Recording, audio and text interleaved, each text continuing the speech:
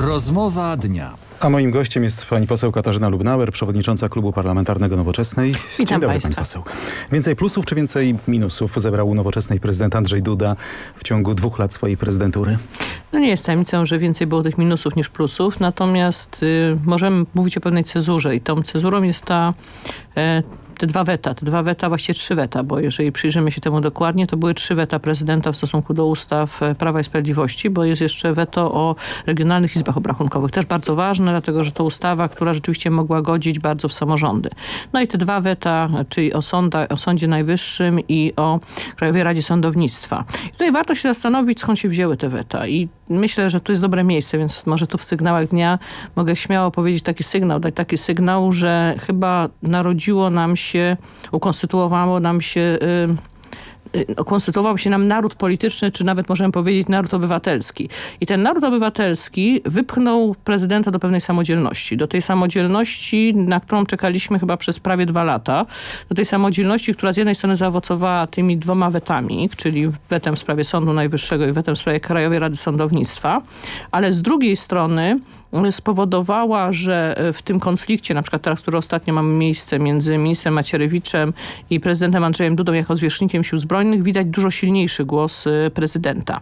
I Jednocześnie myślę, że prezydent też sobie zdaje sprawę, że od tego momentu to społeczeństwo obywatelskie będzie patrzeć, y, będzie patrzeć bardzo rządzącym na ręce, będzie wszystkim rządzącym bardziej, dużo uważniej przyglądać się, co się dzieje.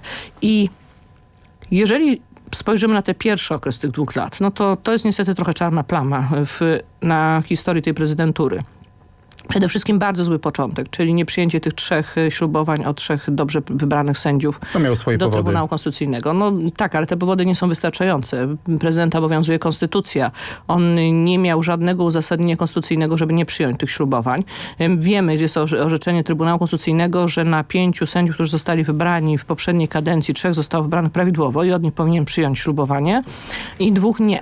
I przede wszystkim musimy zdać sobie sprawę jednego, że to nieprzyjęcie tego ślubowania tych trzech sędziów rozpoczęło cały ten e, kryzys e, Trybunału Konstytucyjnego, kryzys e, wokół Trybunału Konstytucyjnego, który potem zaowocował no jednak i protestami i na, zaowocował tym, że w tej chwili tak naprawdę ten Trybunał Konstytucyjny jest taką atrapą. Pani poseł, ale skupiacie się na wetach, na Trybunale Konstytucyjnym, a są jeszcze obok takie działania prezydenta jak wzmocnienie wschodniej flanki NATO, jak dobrze, chociażby no członkostwo w Radzie. Bezpieczeństwa ONZ. Czy to nie są, y, No dobrze, czy no to nie są przyjrzyjmy się. plusy warte pochwalenia prezydenta? No więc przyjrzyjmy się mm, szerzej działaniu prezydenta. Oprócz mm, tych, y, tego ślubowania, to przyjrzyjmy się temu ułaskawieniu. Ułaskawienie w stosunku do osób związanych po pierwsze z tym samym środowiskiem politycznym, osób związanych z obecnym obozem rządzącym, czyli mm, Mariusza Kamińskiego, pana, e, pana mm, Wąsika, czy, czy trzeciego pana, którego nie pamiętam.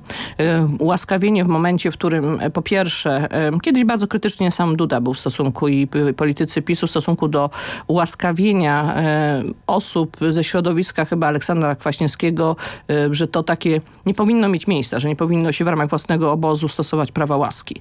I dodatkowo jeszcze ułaskawienie, które większość konstytucjonalistów uznaje za niezgodne z zasadami, dlatego, że nie można ułaskawić kogoś, kto nie został skazany prawomocnym wyrokiem sądu. I to zresztą już Sąd Najwyższy powiedział, że to prawo łaski nie ma mocy prawnej. I kolejna kwestia to są szereg ustaw, szereg ustaw, które są nie tylko niekonstytucyjne, ale które są jednocześnie szkodliwe dla Polski, takie jak e, ustawa o ziemi, jak ustawa o A prokuraturze. skąd pani wie, że są niekonstytucyjne? Z tego powodu, że jedny, w przypadku jednej z ustaw nawet jest, y, są jakieś już y, z, z Trybunału wróciły jakieś konieczności zmian. Natomiast przede wszystkim dlatego, że rozwiązania, które na przykład w przypadku ustawy o ziemi godzą w podstawowe prawo, jakim jest prawo własności. Właśnie mamy problem. Gdybyśmy mieli w tej chwili Trybunał Konstytucyjny, który nie jest atrapą, to można by było wielokrotnie zwrócić się do niego o tą interpelację, o interpretację. Natomiast jest kolejna kwestia. Mówi pan o tych, o wzmocnieniu flanki e, NATO.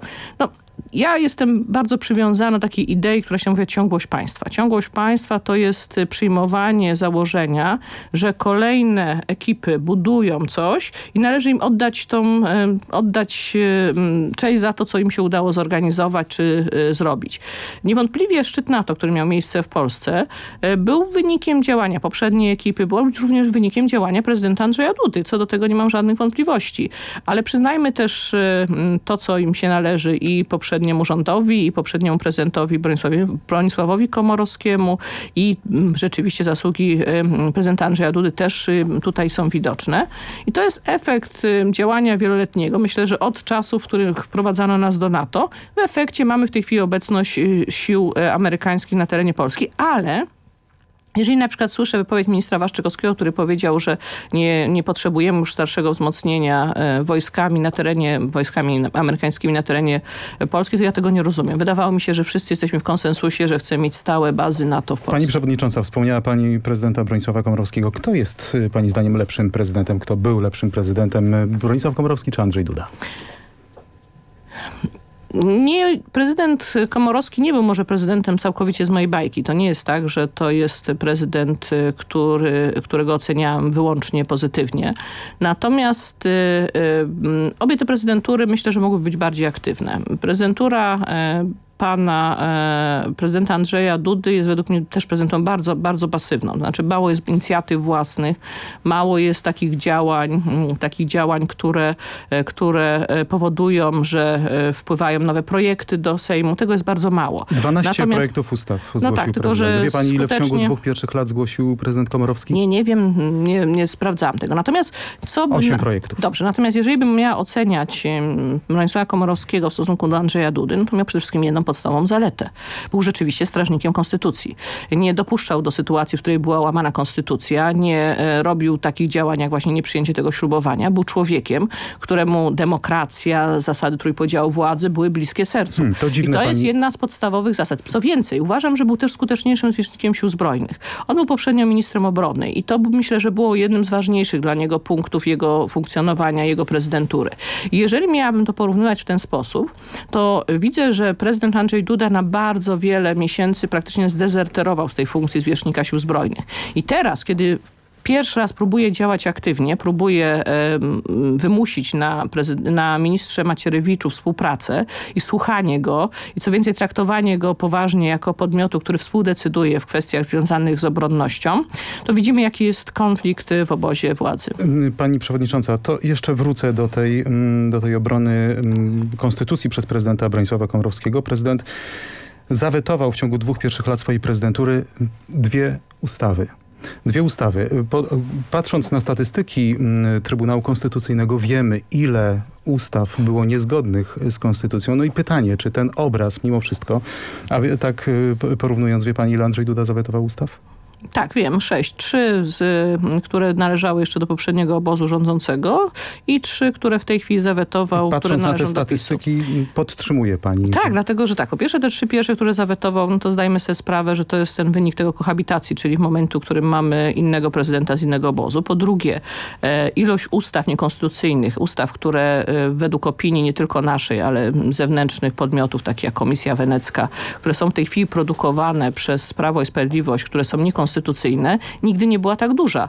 E, prezydent, jeżeli mamy e, w tej chwili Prawo i Sprawiedliwość dąży do czegoś, to byśmy nazwali państwem omnipotentnym, czyli państwem wszechwładnym, które próbuje wpływać na każdą sferę rzeczywistości, które próbuje, próbuje kontrolować Ale każdego ma mandat obywatela. wyborczy do tego pani Nie, poseł. ma mandat, ma mandat. Czy Nowoczesna uznaje to, że Prawo i Sprawiedliwość może reformować? Yy, tak, uznaje, że może w ramach konstytucji, bo nie ma większości konstytucyjnej, reformować państwo, ale musi przestrzegać konstytucji, co więcej więcej e, nie może ingerować w wolności obywatelskie. To, że tylu Polaków wyszło, to, że się obudziło to e, społeczeństwo, to naród polityczny czy naród obywatelski jest efektem tego, że Polacy nie chcieli ograniczenia ich wolności.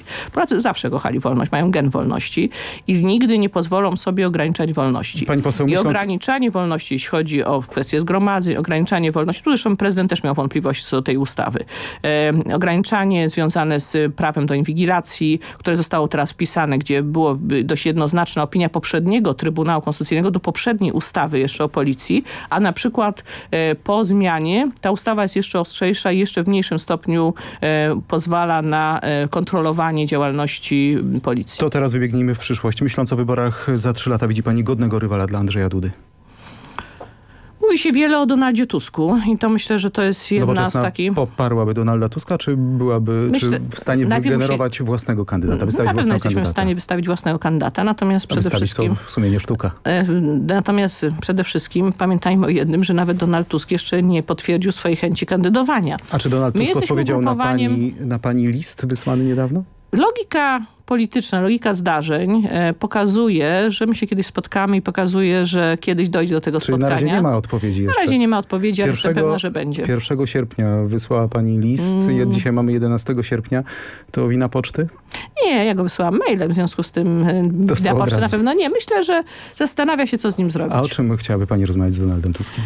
Mamy taki trudny moment, jeśli chodzi o nasze stosunki z Unią Europejską, gdzie nam grożą sankcje, gdzie obóz rządzący robi wszystko, szczerze mówiąc, żeby sprowokować Unię Europejską do działań, gdzie mamy wymianę listów między ministrem Waszczykowskim a Komisją Europejską, która jest w sumie dość e, taka niegrzeczna z punktu widzenia ministra Waszczykowskiego, to e, ważne jest, żebyśmy konsolidowali wszystkie te siły, którym jest bliskie sprawy polskie, którym, którym jest bliskie nasze miejsce w Unii Europejskiej. I niewątpliwie Donald Tusk, który jest i Polakiem, i byłym premierem, a jednocześnie jest człowiekiem, który jest e, przewodniczącym Rady Europejskiej, jest bardzo dobrym adresem do tego, żeby tą konsolidację również e, przeprowadzać. I dla mnie jest dość oczywiste, że my powinniśmy w tej chwili szukać sojuszników w Europie. Powinniśmy szukać sojuszników w Europie, żeby rzeczywiście nie spotkały nas kiedyś sankcje, żebyśmy rzeczywiście nie był odebrany nam głos w Europie, bo dla całego społeczeństwa, bo przecież to nie jest tak, że e, całe społeczeństwo jest takie jak PiS. To nie jest tak. Polska to nie PiS. E, Większość Napisała pani w Polaków tym liście bardzo... Prawo i Sprawiedliwość, rząd chcą być jedynym reprezentantem ogółu Polaków w stosunkach z Unią Europejską. Pani poseł, to na koniec, jak demokrata z demokratą, kto w demokracji powinien reprezentować kraj w stosunkach z Unią W Europejską? stosunkach dyplomatycznych niewątpliwie rządzący. Natomiast w stosunkach, żeby zobaczyć, jakie jest podejście społeczeństwa do Unii Europejskiej, to podejście mm, opozycji, podejście większości społeczeństwa jest dużo bardziej euroentuzjastyczne niż rządzących. Rządzący, zresztą to chyba słowa ministra Waszczykowskiego, który powiedział, że trzeba wykazywać daleko idący sceptycyzm, że trzeba zmienić podejście do Unii Europejskiej. Polacy wiedzą, że obecność Polski w Unii Europejskiej się po prostu nam opłaca. Bardzo dziękuję za tę rozmowę. Poseł Katarzyna Lubnauer, przewodnicząca Klubu Parlamentarnego Nowoczesna, była gościem Sygnału Dnia. Dziękuję Państwu.